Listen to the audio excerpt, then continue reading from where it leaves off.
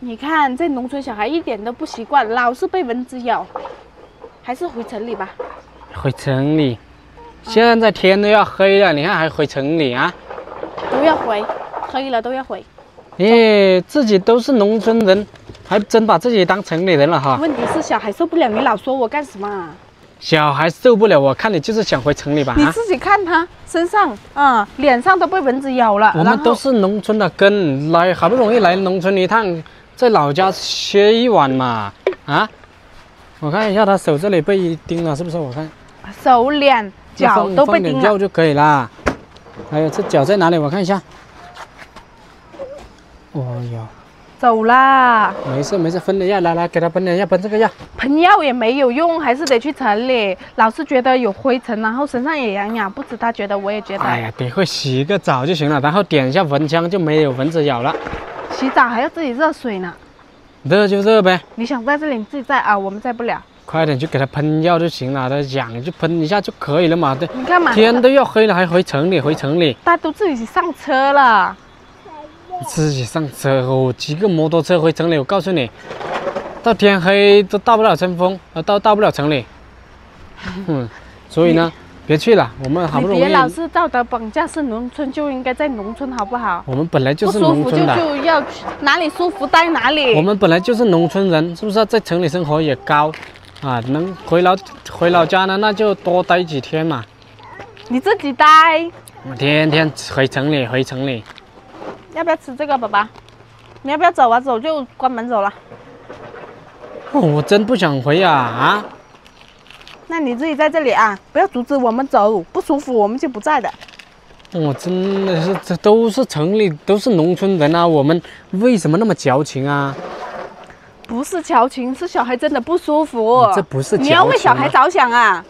这不是矫情吗？不舒服。那小孩被蚊子咬一点很正常啊，我们小时候没有被咬过吗？你你没被咬过吗？你也是农村人啊啊！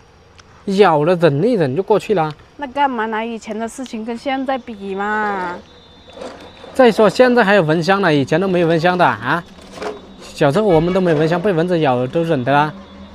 怎么到到这一代就忍不了了啊？在城里在城里买一套房就很啊，很把自己当城里人了。随便你啊，你不为小孩着想，我要为小孩着想。你不去，我自己去。为小孩着想，嗯，就你俩去骑摩托车，这么危险，